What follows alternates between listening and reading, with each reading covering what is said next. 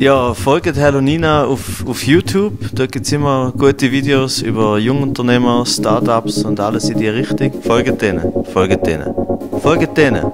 Jetzt!